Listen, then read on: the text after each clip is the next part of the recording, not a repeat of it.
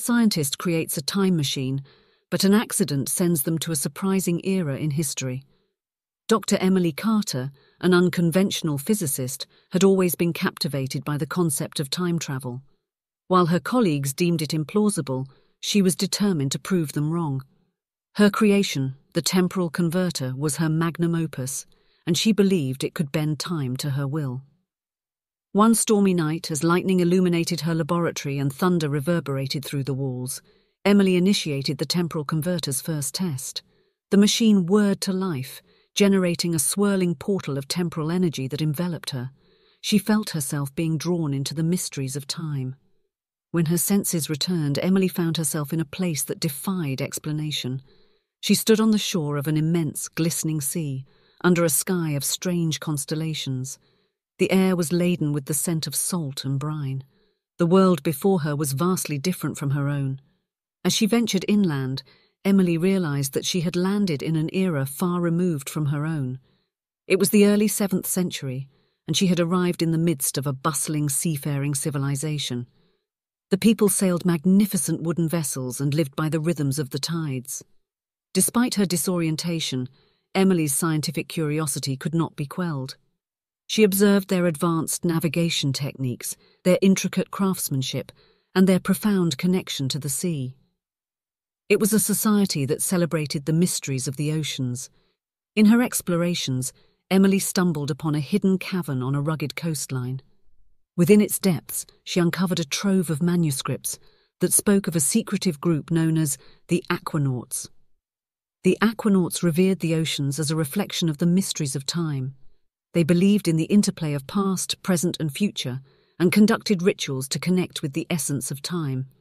The Aquanauts' philosophy resonated deeply with Emily, and she began to see her journey as more than an accident.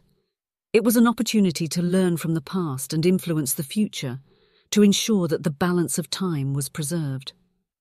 As Emily continued to explore, she began to experience vivid dreams that transported her through time. In these dreams, she witnessed a grim future, a world in turmoil due to reckless time manipulation, paradoxes, fractured timelines, and environmental devastation ran rampant. However, amid the chaos, she glimpsed a group of individuals known as temporal stewards.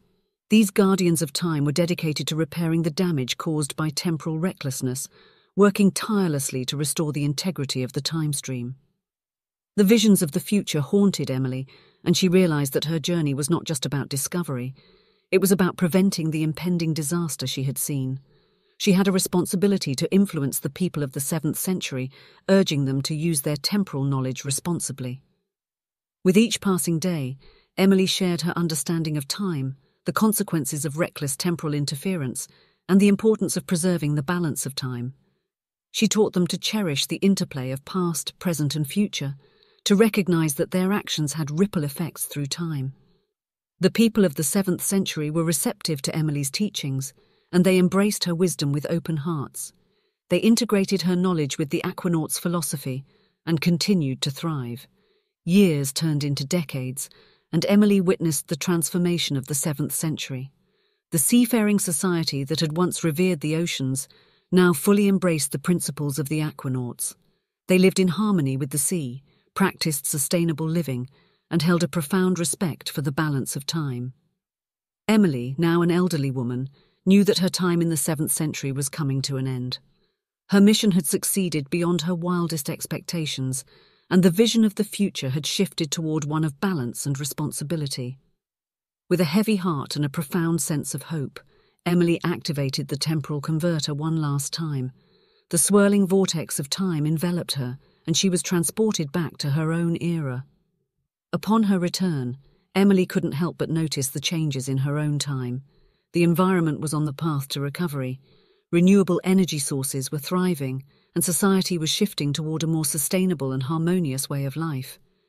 Emily had embarked on a journey through time with the hope of unlocking its mysteries, but she had discovered something far more profound.